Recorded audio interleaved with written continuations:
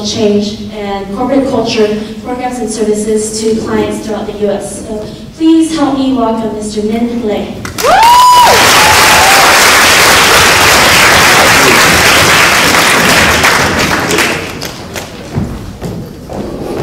Well, thank you very much, Kim. That was a nice introduction. I, I have to tell you that I was sitting over there listening to the introduction and I was starting to get a little nervous. And uh, it's that familiar feeling, you know, when your heart starts to beat faster before you go up on the stage and then your mouth goes dry and uh, your palms sweat a little and then all the ideas that you prepared in your head, they disappear. You ever had, ever had that feeling? And uh, I was also reflecting on the fact that uh, 31, 32 years ago, I was probably in the same place you are right now in this stage of life. Um, and uh, I had just, uh, in fact, uh, 1975, I had just graduated from college and had just started working for the IBM Corporation. And uh, I wanted to uh, become a sales rep for them because, you know, that's where the money and the success and the recognition was. But uh, after they screened me, they said, look, the grades are good enough, you can be a systems engineer. But you can't be a sales rep because you're no good in public in terms of public speaking. You're too shy. And they were right. They were right. So um, I went to work for IBM as a systems engineer, and my first manager was a very nice man. His name was Chuck. And Chuck really took good care of me. Um, and he knew that I had this problem with public speaking. So he gave me my first opportunity to speak in front of the IBM Users Club. And this is about 120 people, mostly data processing managers. They call themselves data processors in those days. And my job that, for that first assignment was to deliver a presentation for 30 minutes on a new product called the 3790 slash 3762 data entry station. Okay? And so then no, Chuck knew that I had this problem. So he said, look, you just make sure you write anything out, you have a script, and if you're on stage and you get real nervous, well, all you have to do is look at your script and stay with it. You know, just get all the way to the end and you're done. It's not so difficult, right? So the meeting was on a Friday afternoon like today. It started about 2 o'clock, like this meeting should have started about then. And uh, each speaker would stand up uh, on stage and speak for about 30 minutes. And I was scheduled at 4 o'clock. And uh, I started noticing something very interesting with the first speaker because, you know, you start out with about 120, 130 people in the room. And about five minutes, 10, 15 minutes into the presentation, the people in the back of the room, they started to sort of kind of disappear. You know, very quietly, they walk out the door. And, uh, and that continued all afternoon. And by the time they introduced me, the room was two-thirds empty. Okay, there might have been maybe 25, 30 people left. And so I was really nervous. And I went up and very calmly, I tried to be anyway, to read my script. And as I read my script, going through my presentation, the room continued to empty. You know, and then I started to get more nervous and I started to read faster. You know, I couldn't wait to get out of there. And when I finally finished my last sentence, there were just two people in the room. But then as I said thank you, the second person back there walked out the door. So I looked at this gentleman, he was sitting about right here, where he is. And I jumped down from stage and I went over and I grabbed his hand and I said, thank you very much for staying to the very end. And he said, not at all, I'm the next speaker.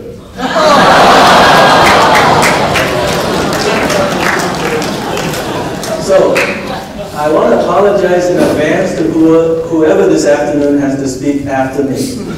Okay? Now, we're going to have until 4.30 and we're going to do a little bit of work together on the nature of leadership. And uh, this is a field that I have been studying ever since, actually before most of you were even born. And uh, I don't, I still don't feel like I know very much. In fact, I want to establish an agreement with you. This afternoon, none of us will know more than any others. But what we'll attempt to do is learn from one another. Okay? So I'm actually going to get off the stage and uh, just talk to you a little bit about this. I want to find out a little bit about you. How many here, if you could raise your hands, are in a leadership role right now in the organization? Okay? So, what, about a third of you are in a leadership role in a student organization of some type, right? Okay? So how many, if you raise your hands, you're not in a leadership role? Okay? okay. Uh, but obviously you're here because you're interested in the topic of leadership, right? So would you raise your hand if you have no interest in leadership, no interest in what I have to say, but you're just here because it looks like a fun place. And you can meet girls. And... okay. All right. So,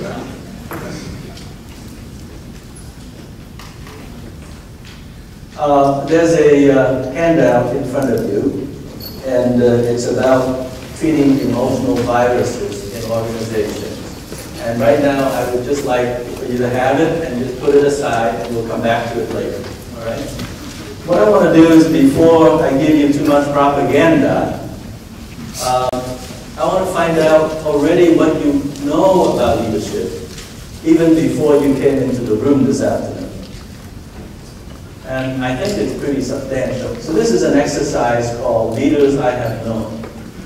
And if you need to close your eyes to do this, that's fine if it helps.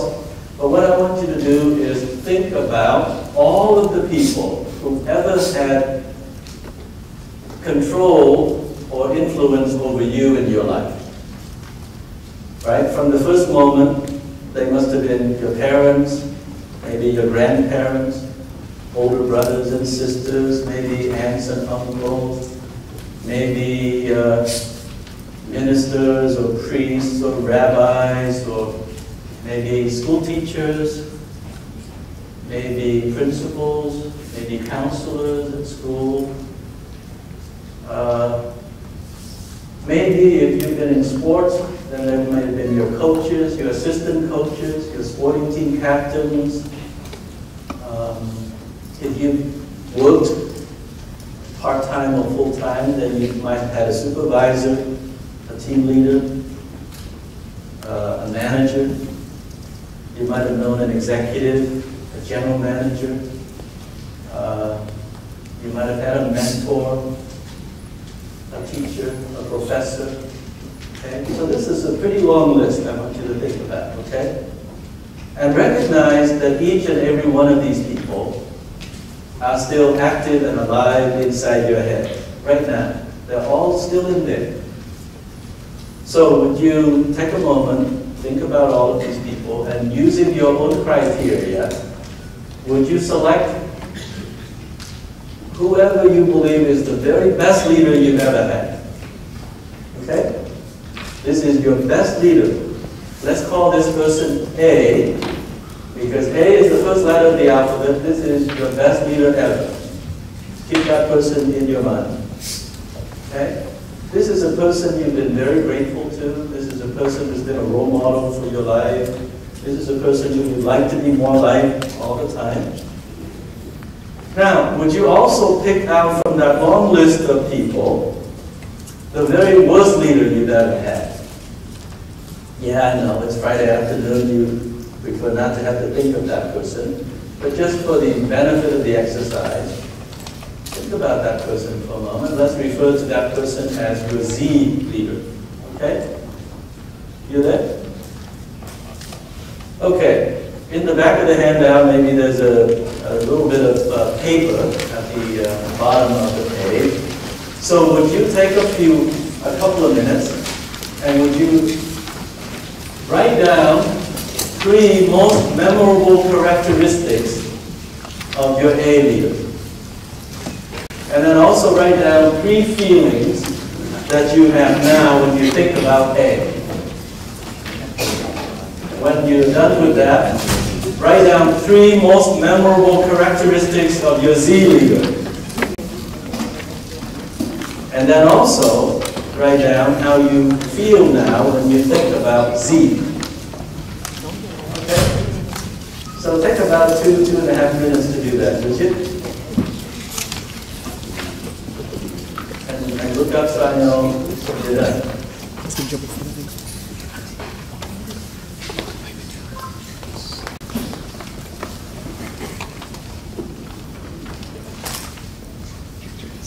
A is your best, Z is your worst leader.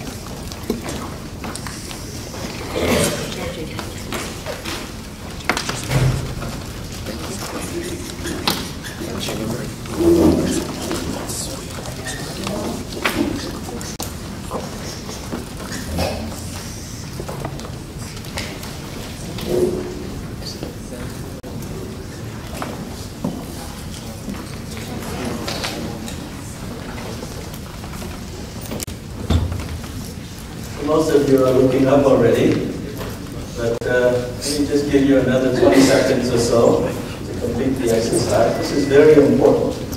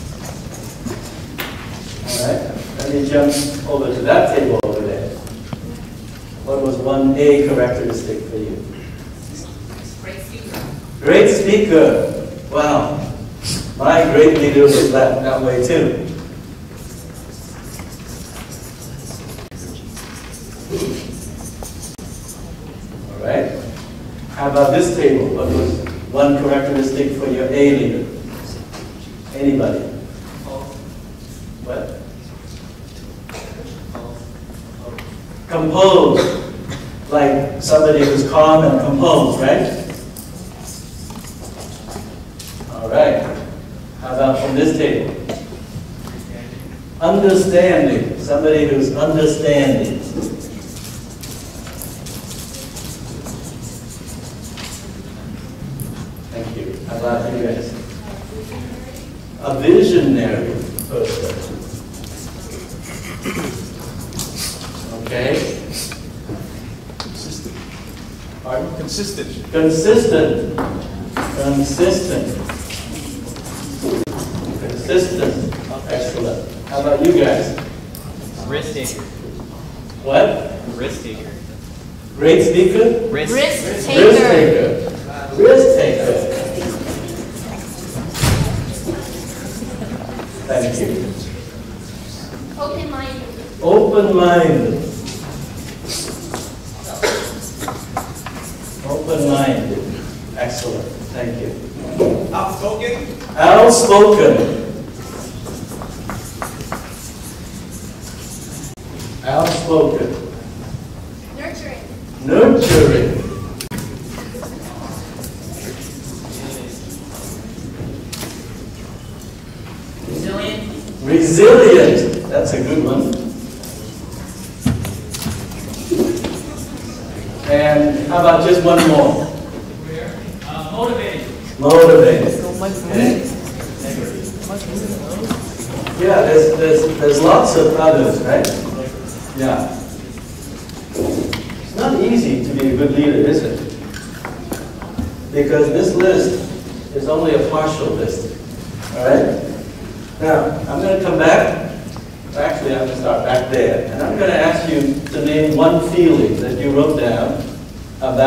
a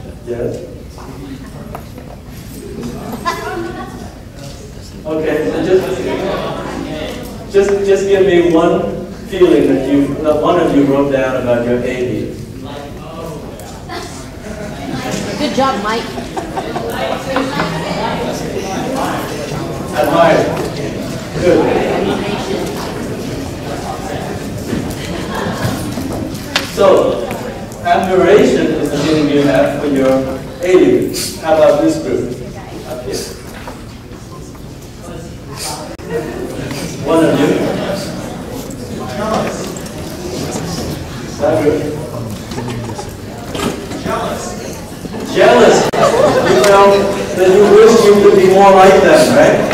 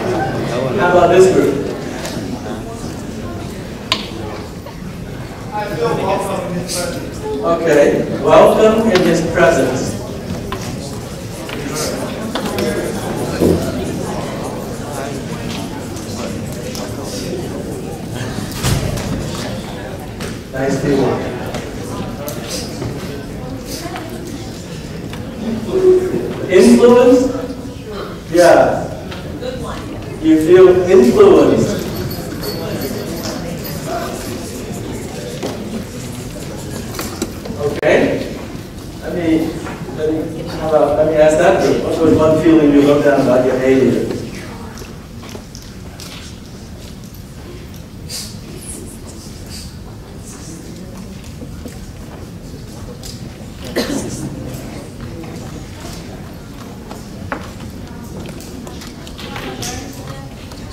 Yes, so you want to be, want to be more like that person, right? So I to put another check mark here. Okay? Yeah, learn something from them. How about this group? You feel empowered. Just thinking about the person makes you feel more empowered. How about this group? Motivated. They're motivated,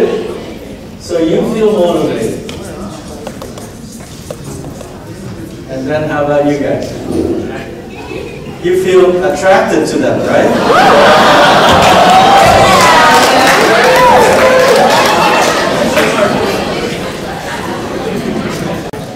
It's true. It's true. So we're going to leave that partial list now, I bet you have a lot to tell me about the characteristics of your worst leader ever. It's an unpleasant topic, but uh, let me start with this group here. What was one characteristic you wrote down for your Z? Huh? Apathetic. Apathetic is one of the worst possible energies for a person to have. How about you guys? Indifferent. Same thing, right? Apathetic, indifferent. I'll tell you what, how about if you just sort of raise your hand and give me, okay, give me unorganized, right? Is that what you said? Yeah, an unorganized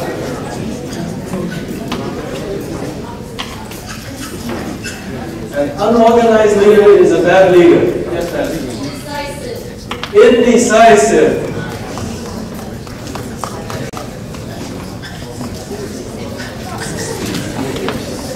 Yes? Stagnant? Yeah, stagnant. No growth, right? Yeah. Stubborn. Stubborn. Yes? Judgmental.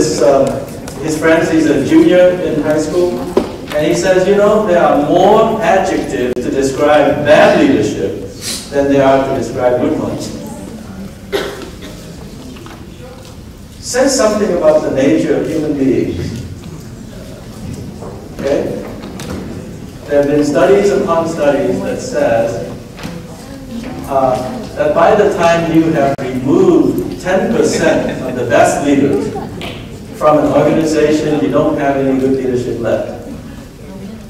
All you have to do is remove the, the best 10% of the people. There won't be any leadership left. This is not the stuff for anybody. This is only for a few good people. Okay? All right. Now, feelings about Z. Raise your hand. Let's go. Yes. Fear. Just thinking about this leader caused fear to show up for you. Yes? Demoralized. Demoralized.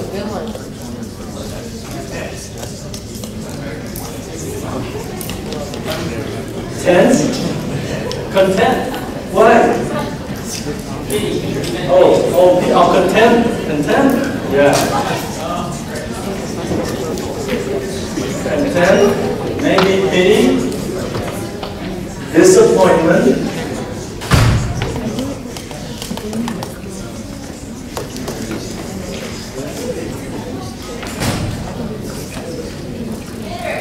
Bitter.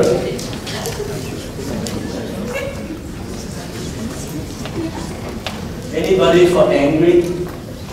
Yeah, angry. You know, you guys are actually a pretty mild-mannered group. Because uh, not too many months ago, I was doing the same exercise with a large group of adults. Uh, they're like older okay? They're uh, like in their 40s, 50s. And there was this man sitting about right there. And he has a high forehead, and he has a vein on his forehead. And this vein pulses with his emotion. And I was fascinated. Watching his vein, I could time his pulse. And a moment ago, as he was describing his feelings about A, his pulse was a nice, steady 72. And now, as he's talking about his feelings about his Z leader, his pulse went up over 140. So during the break, I didn't want to embarrass him in front of the group, but during the break I walked up to him and I said, how long has it been since you had anything at all to do with that Z leader? And he turned on me and he said, that bastard has been dead for over 30 years.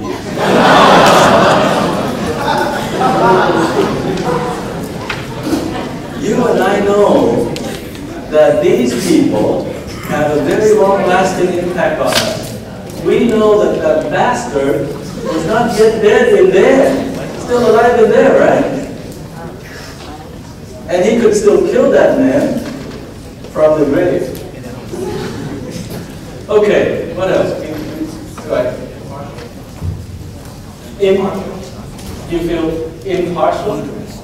Uh, tell me a little more about that.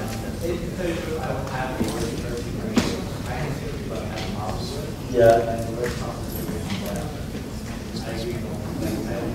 Oh, okay. So you feel like neutral about that person. Yeah, you sort of turn off your feelings about that person, right? Okay. It's, all, it's like a good defense mechanism to think of them like they're just a thing, right? Like the wind or the, rain or whatever. Okay, what else? Yes, ma'am. You feel abandoned.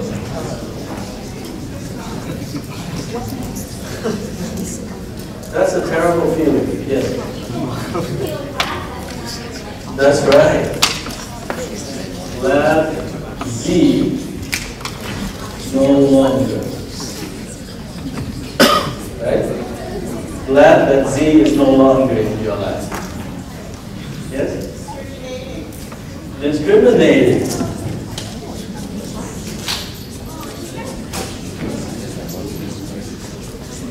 Okay? Yes? Bloodlust? You feel bloodlust, yeah. Yes. Might as well get that out there. You feel violated.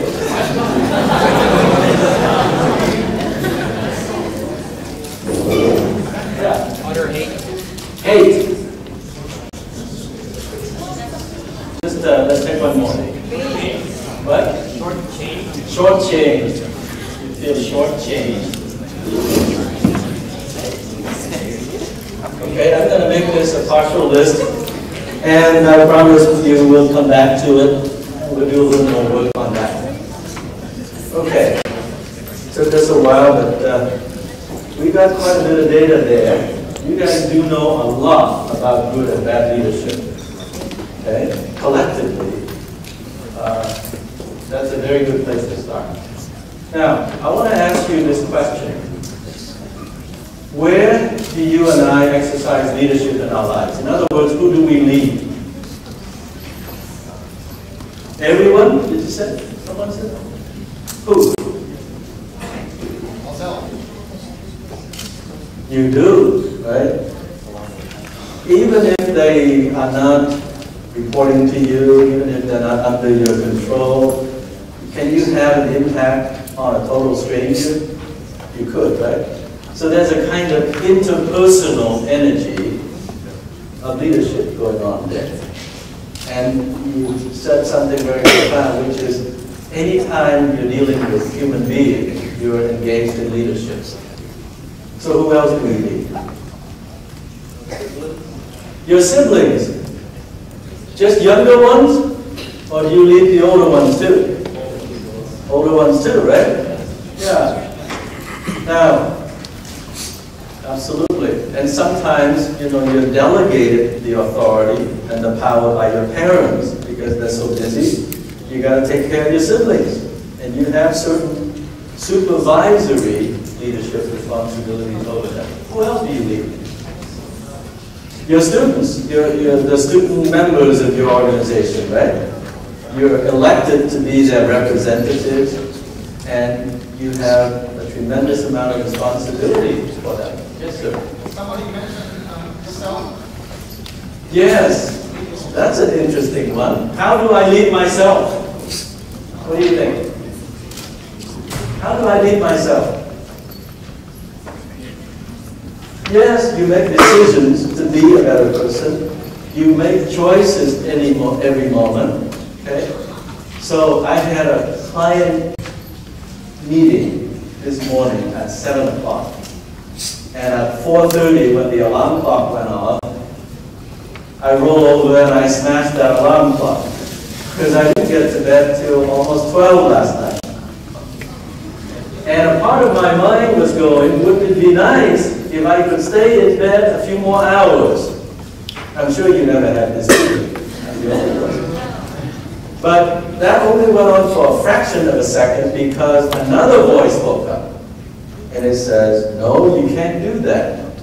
because you're a professional and you've got people depending on you. And the two voices in my head had an argument for a fraction of a second. And guess which one won? I got up. Right? You have these conversations with yourself all the time, right? Isn't it interesting that a human being is this creature that can have an argument with itself, that can love itself or hate itself, that can even be aware of itself, thinking about itself. Yes, we have a definite relationship with ourselves because we have self-awareness. So personal leadership, leading oneself, is actually a very important topic. Right? Most of what we're going to talk about this afternoon is in that category. Who else do we lead? We lead our friends. Notice that we can't hire our friends and fire them, and we don't have formal power over them, and there's no law that says they have to listen to what we do. But some of us have this wonderful ability to get our friends to do what we want, and some are very frustrated because they can't get their friends to do what they want.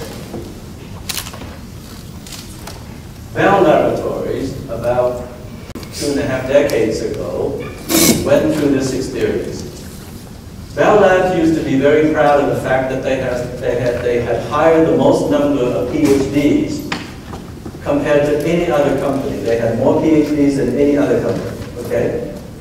And they discovered that only some of their PhDs were very effective. The rest were not. Now, PhDs are supposed to be highly educated, very smart, right? You gotta have high IQ. You gotta have good grades and all of that to get a high level degree like that. And yet some of them were not very effective. So they brought in more researchers, more PhDs to study these PhDs. Okay? And they discovered something fascinating. They discovered that the highly effective PhDs, whenever they sent out a request for information, a memo, or, you know, back in those days they also had uh, the early version of email, these people would get responses back from the organization very quickly, just like that. Within a few hours, within a day or two, they get information back. All right? And then they went and studied the not so effective PhDs, and they discovered that these people would send out a request for information, and they would sit around and wait for days or weeks. And months may go by before they hear anything back. And so the researchers concluded that our success in life depends also on whether you have good social skills, how, how much leadership effectiveness you have over your friends. Okay? Who else do we lead?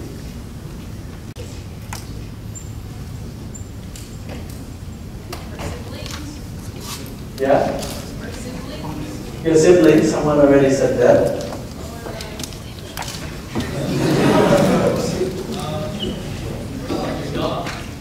Your pets? Absolutely. By the way, people who love their pets consider their pets like their children, right? Yeah? Let me ask you something. Do you lead your parents? See how fast that So some of you are very, very skilled at knowing how to manage the mood of your parents, knowing when is the right time to ask them for something, knowing just the right way to talk to them to get exactly what you need. Okay? And others may feel some frustration about it because somehow their parents are not that easy to lead.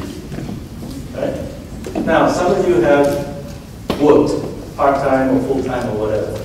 Do you lead your bosses? You You do. That's called leading up. That's about knowing what the boss is all about.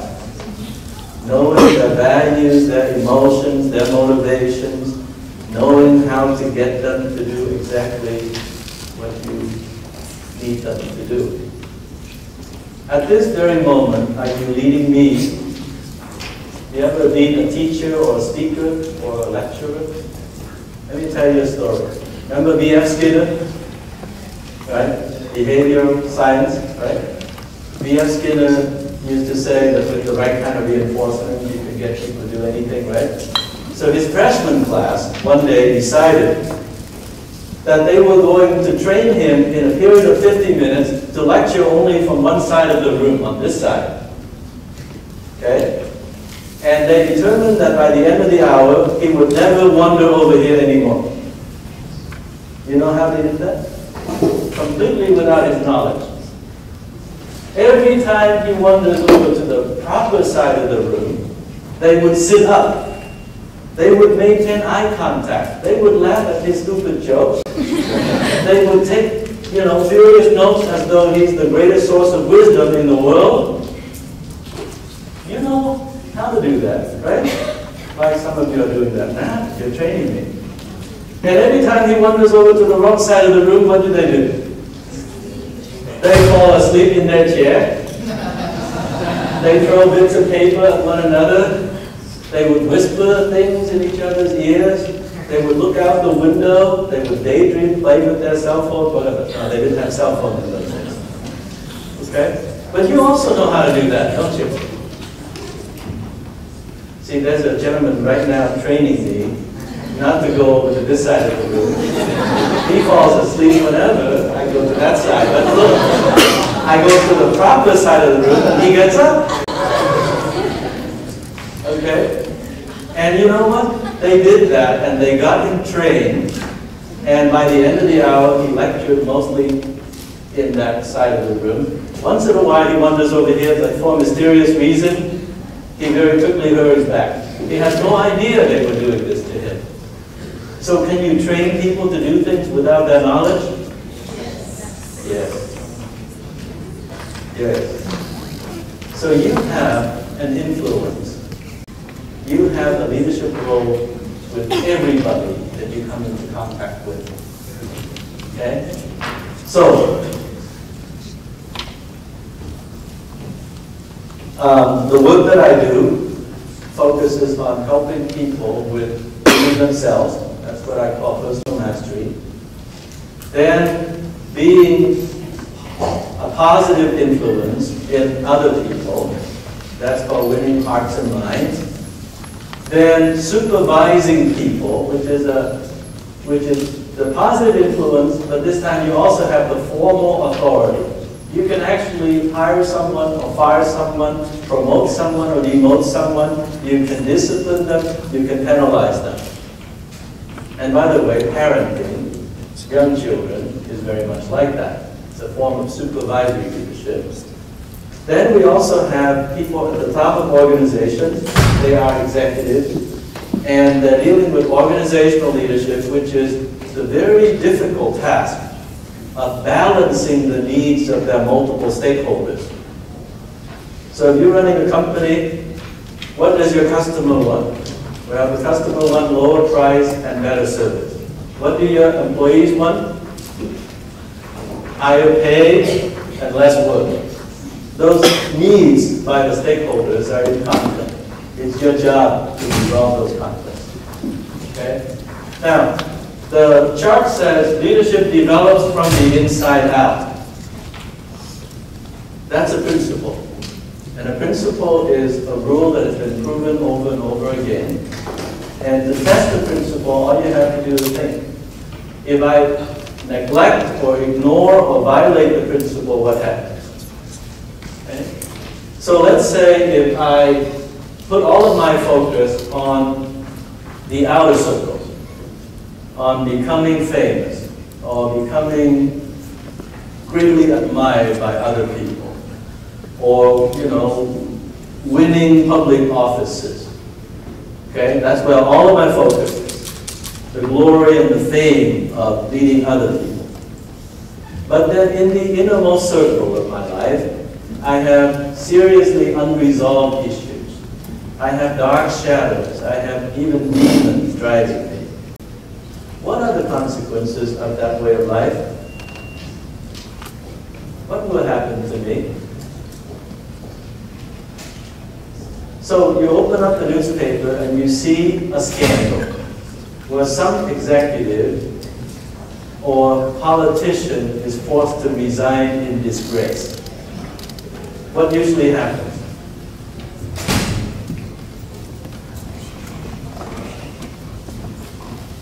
They're usually very successful in the outer circles, yes? But something unresolved, some dark shadow in the inner circle has finally come out and bitten them in the rear end, right? So when a representative of the House of Representatives tearfully on television admits to taking bribes,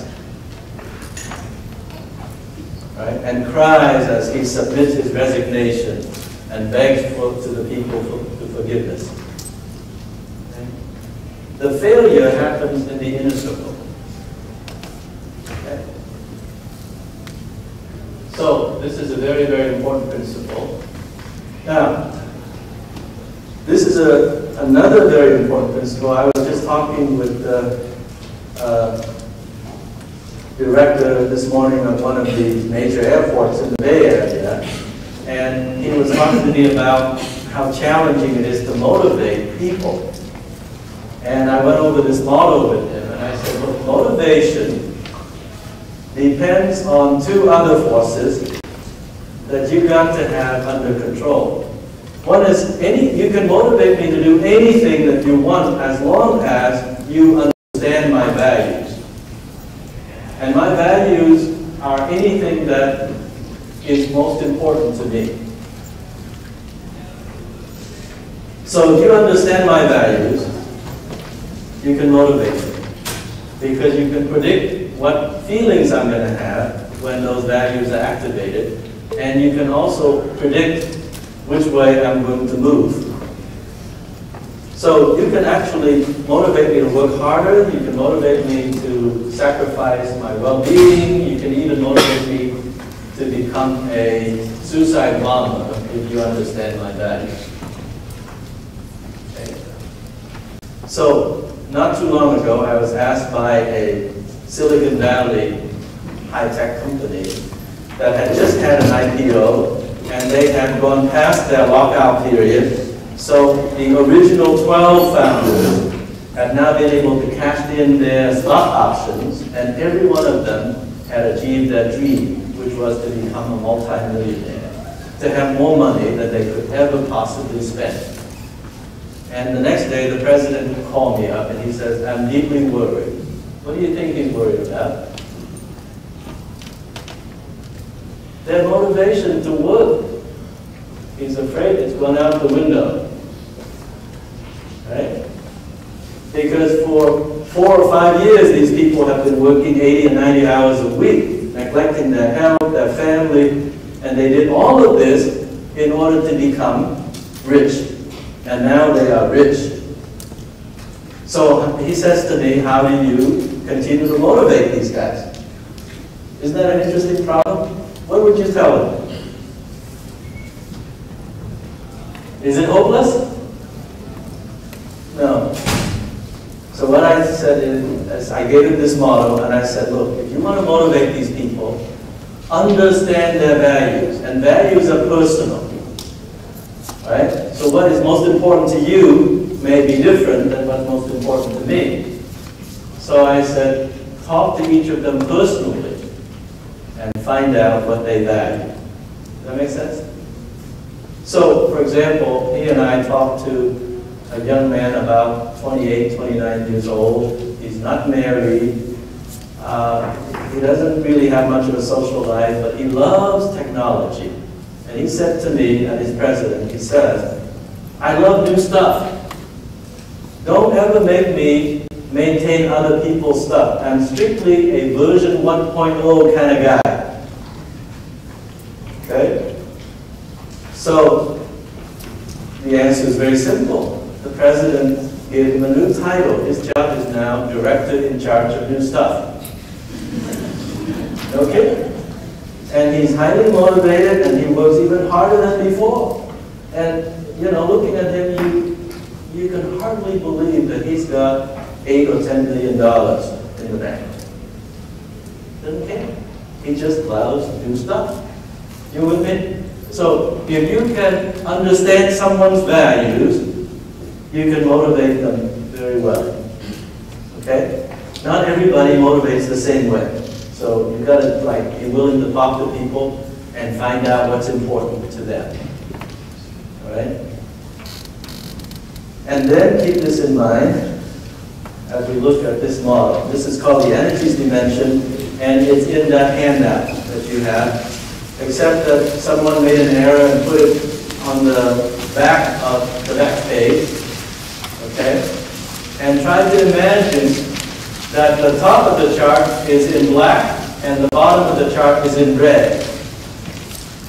Now, when Wolf Jarvis put together this model several decades ago, he was following the financial convention of, consult, uh, of accountants.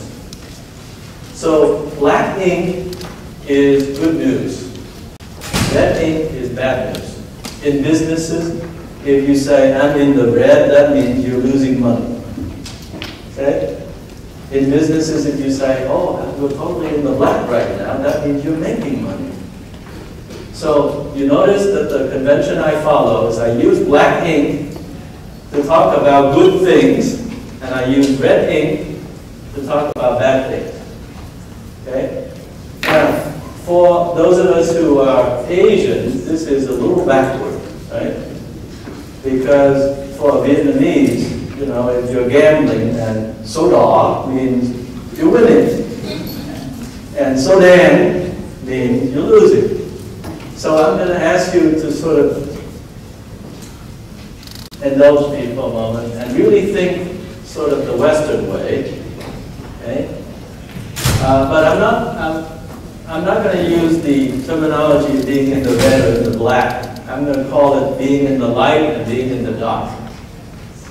At the top of the chart, I'm in the light, and at the bottom, I'm in the dark, the dark side. You know, Obi-Wan Kenobi. Okay? So, this is about human energies. How do we get energy into our body, by the way? Food, drink, and, well, when we sleep, we conserve energy, but we don't get energy in, unless we have an IV hooked up to us when we're sleeping, right?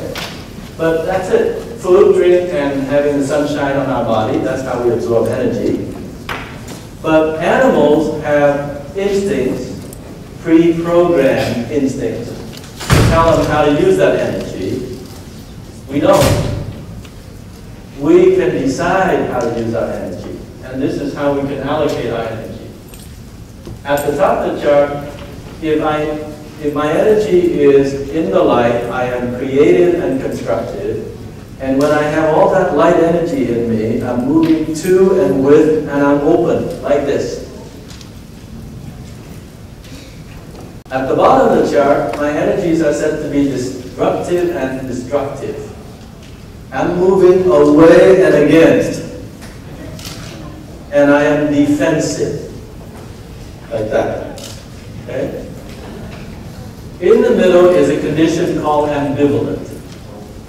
And ambivalent is when half of me wants to move to and with, and the other half wants to move away and against.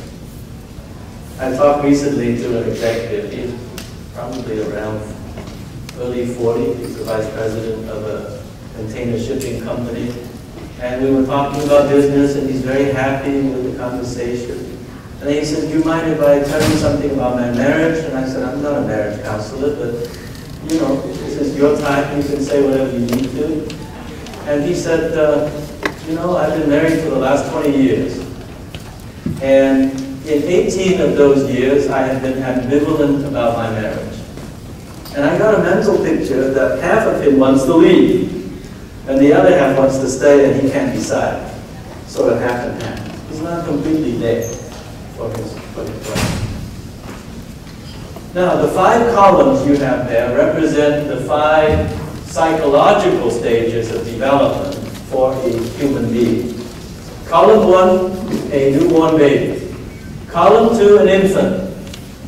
Column 3, a child.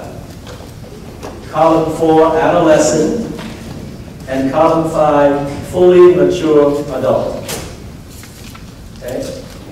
So, a newborn baby, in order for that baby to enjoy being in the light, all he needs is to have his body feel comfortable and to be healthy.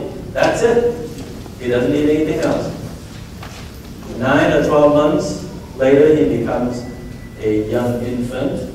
At that stage, he knows he can recognize the people close to him that he feels safe, secure, and trusting towards.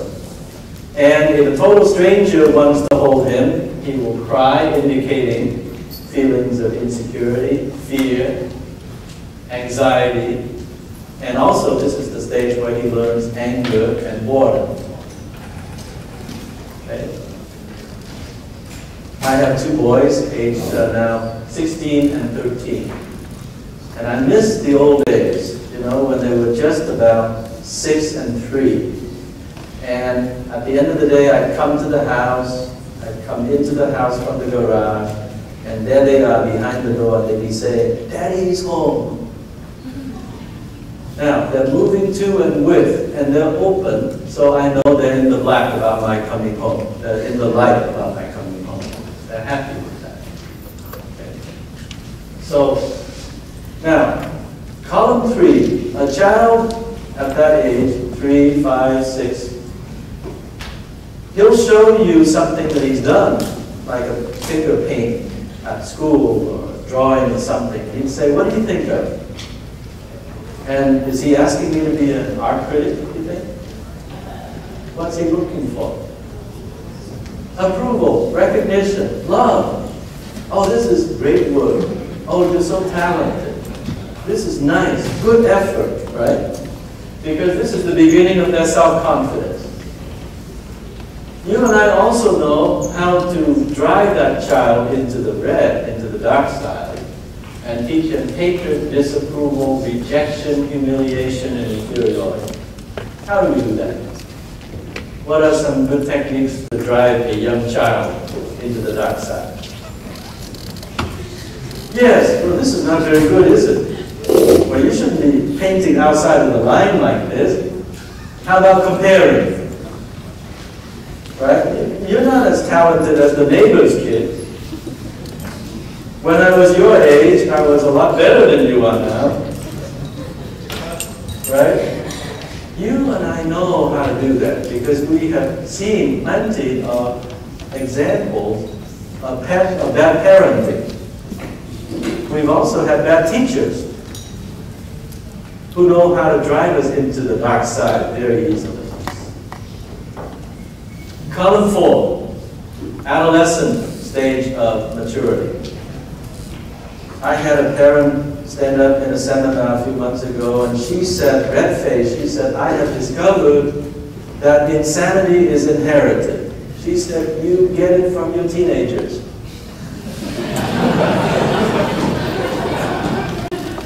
now, the reason teenage years are so difficult is because in column three, you get love from your elders, from your parents, your teachers, from the people you know, above you. In column 4, self-esteem means you've got to learn to love yourself. And that can be hard if that is not recognized as a legitimate need. This is the stage where you develop loyalty to your own self-centered values. This is the way I like to dress. This is the way I like to keep my room. And this is the way I like to use my money. And this is who I like to have for friends. And these values are not necessarily the same as your parents' values. And it's so difficult because sometimes they don't know enough to let go, to let you develop your own values. Self-actualization is I am working on being the best person that I can be, to maximize my potential as a separate human being self-actualization, achievement. I want to do things well. I want to achieve, accomplish. And then my self-confidence in column three now becomes faith in myself, which is a higher level of self-confidence. But if that is not successful, if I can't stay at the top of column four, I go into the dark side too. And the dark side is filled with self-rejection, self-disgust. I look at myself in the mirror and I can't stand the face in the mirror. I don't think I'm talented enough, or pretty enough, or athletic enough, or popular enough. And I'm disgusted with myself. And I feel great guilt about not living up to my parents' expectation. And I'm depressed and I feel like a failure. And lots and lots of very wonderful and talented people have experienced bottom of column four. For example, how do you and I know that Princess Diana spent some time at the bottom of column four when she was a teenager, and this feeling, you know, lasted until she was in her early 30s. How do we know that she had it? Because for a young lady, this feeling at the bottom of column four sometimes shows up as eating disorders. And Princess Diana had plenty of it. She used to refer to herself as the ugly duckling, even though she was quite beautiful. Would it surprise you to know that many beautiful models consider themselves ugly So that's a very, very destructive place. And fortunately, many of us can grow out of it as we approach maturity in column five. At the top of column five, self-transcendence means I am able to rise above my own separateness. I'm able to commit myself to causes, to ideals, to other people that are quite important, sometimes even more important than my concept of myself. Meaning says, I can make sense out of the crazy and difficult adversities that happen in life. Like when bad things happen to good people. Know, it's very hard to make sense out of that. But the sense of meaning is very, very important for a mature adult because I can make sense out of the stupid and crazy things that happen in life, the unfair things. Okay? Fulfillment says all the different aspects of my life work together very well. And hope says, I believe tomorrow is going to be better than today, and I'm actively working hard to make that happen. But there are some mature adults who do not succeed in staying at the top of column five. Where do they go? Into the dark side. And the dark side is characterized by futility, which means whatever I do makes no difference. I give up, you know. Apathy, I don't care. Despair, there's no hope. And cynicism, I don't believe in anything. Cynical people suffer from the worst type of energy in the entire universe. Their life is really dark and bleak. And even, you know, their attempts at humor, you know, cynical humor is very, very draining, right? So this is a very, very bad place for adults to end up in. Apathy, futility, despair, cynicism. Okay? And one thing about the model is this, and then uh, one last thing I want to say to you, and then I'm going to ask you to do a little exercise among the tables. Okay? The higher columns contain the stronger energies. The more mature energies, the stronger energies. The more in the red you are, the more likely you are to be sick. In fact, there's not an illness that cannot be caused or accelerated by the dark energies, by the red energies. Okay? Um, in fact, if I'm already sick physically and my psychological energies are at the bottom five, I'm much more likely to give up trying to live. Now, in all successful organizations and in all effective adults, this is what I noticed. They are more than willing to volunteer to go into the red at the bottom of columns one and two. They even volunteer to do it, as long as they get three, four, and five in the black. So athletes are like that. Athletes, for example, talk about, you know, um, Lance Armstrong. Okay? Do you know how Lance Armstrong decides if he has had enough practice each day? He practices like seven or eight hours a day. Okay? And do you know how he decides it's time to stop practicing each day? When his body is in pain. That's when he stops. So he volunteers to have bodily pain. Okay? Now athletes, they go out on the field and they enter into a competition.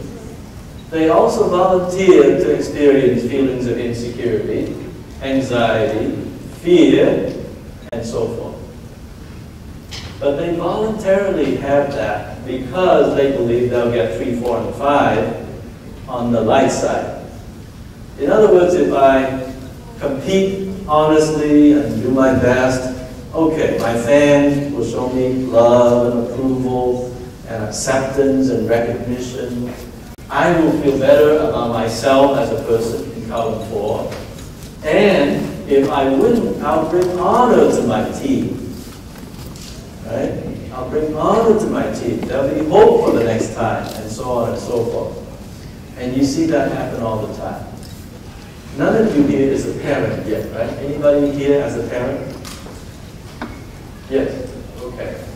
So parents will do this regularly. Parents will go without food or sleep because they will care for their child, right?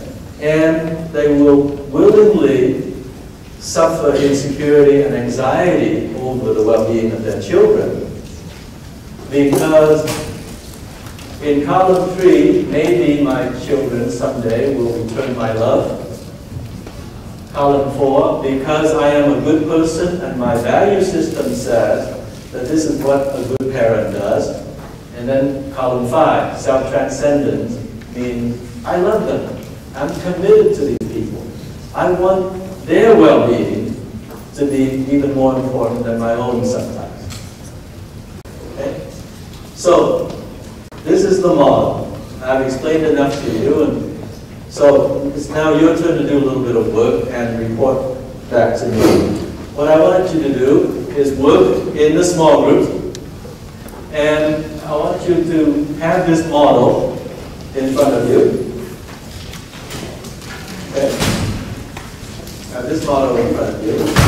And I'd like you just to have a quick conversation within the group for about 15 minutes.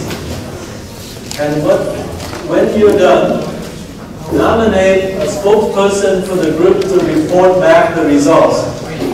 And what I will ask you to report is this.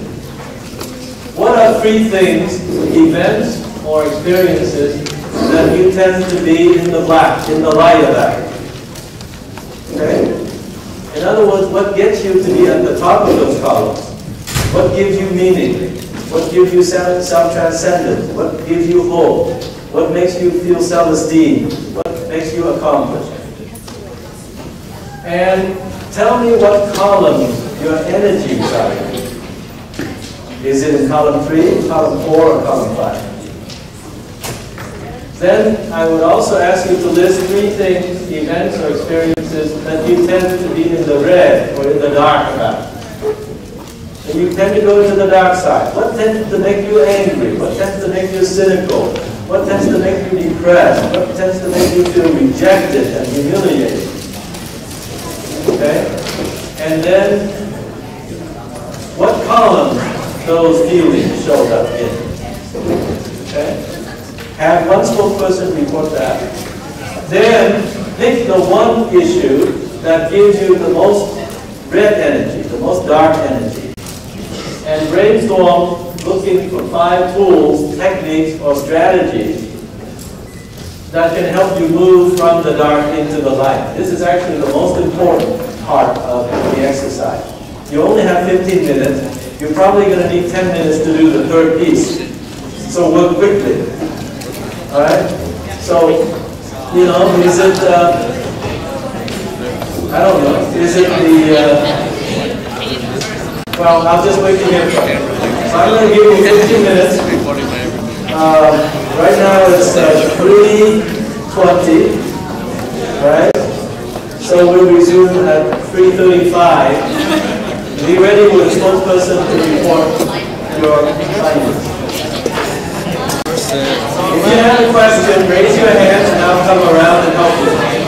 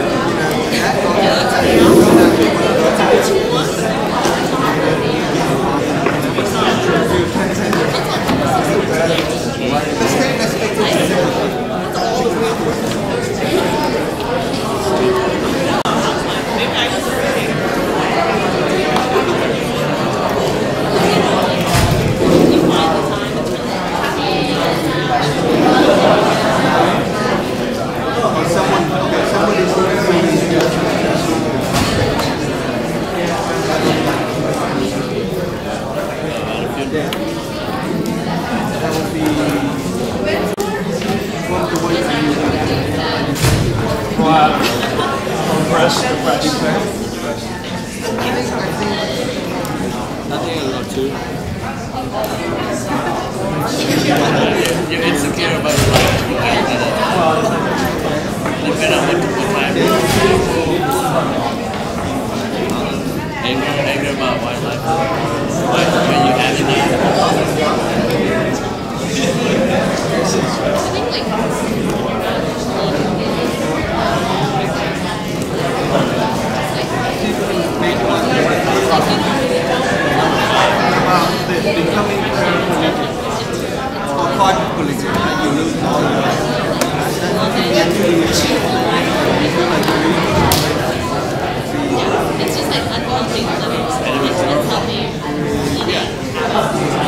yeah.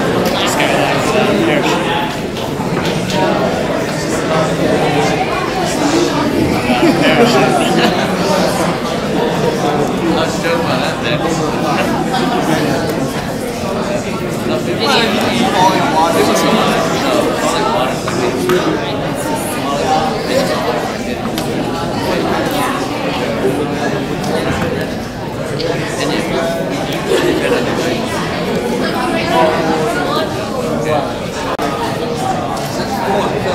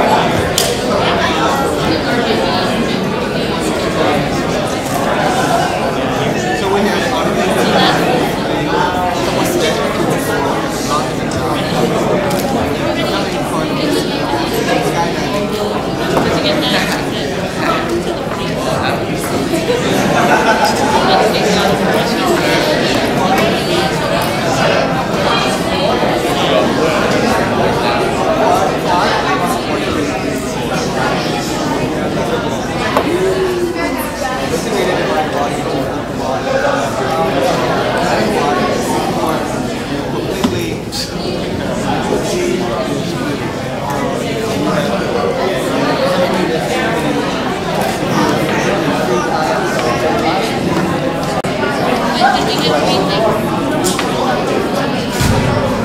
you can do, what you can do, be like talking.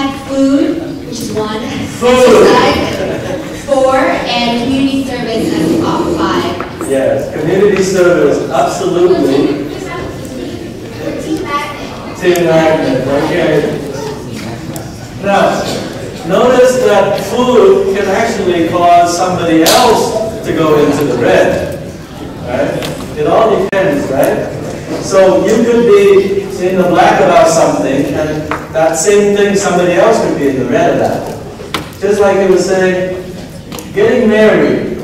So for somebody getting married is a joyous occasion, but somebody else may not feel happy about it.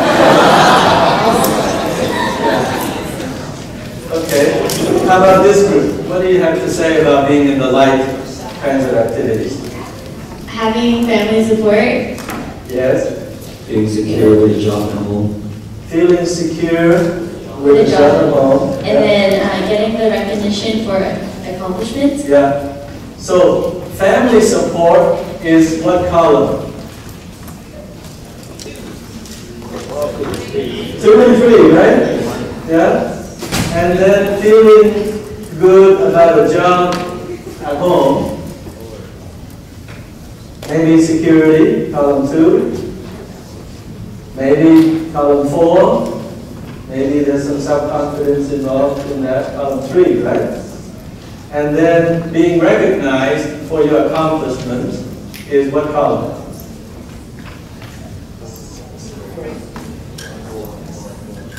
Yes, then maybe you feel good about yourself. Maybe you feel more self-confidence. That could be number three also. Okay, good. So let me kind of move over to this side kind of randomly. Anybody with their hands up? Why, why don't you talk about being in the light a little bit with us?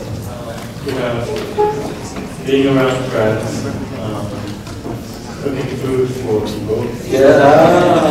uh, deep conversations with their parents. What's the difference? Deep conversations with their parents. Oh, you're very fortunate. You're able to have positive, profound conversations with your parents, right? You're very fortunate. Now, notice that in those three things, two of them have to do with relationships. Okay?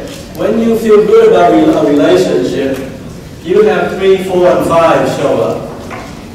See, I've been married for 21 years, and that marriage would not have lasted 21 years unless we have three, four, and five.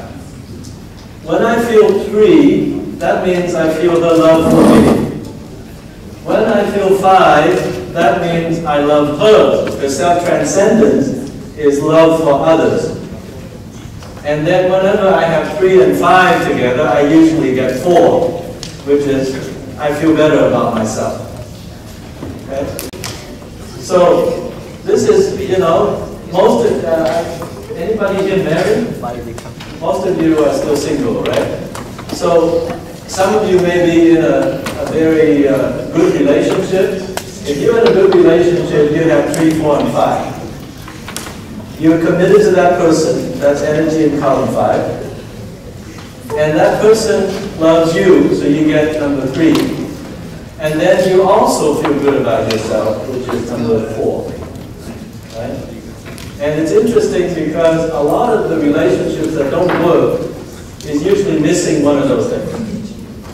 So for example, if I get married because I get three, but I don't have five, that means I get married to someone because they love me, but I don't really love them. Well, that doesn't last. Okay? Very good. Okay, so maybe is this group talk yet? Yeah, right, that's right. How about this group over here? Okay. Things that put you in the light energies. Independence, Your independence. Yeah. What else? being part of a good team, Being part of a good team. Yeah. and meeting inspirational people. And meeting inspirational people. Okay. So when you're feeling independence, what column are you in the light? Four. Independence is four, whereas five is interdependence. So being part of a good team, for example, five of them, right? Okay. And meeting people that inspire you puts you in what column? In the black. Is it an inspiration to meaning? Is it an inspiration to your own value? Or is it inspiration just to feel love, to accept it to feel belong? Yeah, so probably is five, right? The Buddhist has a description for self-transcendent that goes like a drop of water returning to the ocean. It's the feeling that you're part of something much greater than your own separate identity. It's a very nice feeling. It's a very um, mature feeling. Okay, let's uh, let's go over here to this group and let's hear about their red issues, the things that make them go to the dark side. Yeah.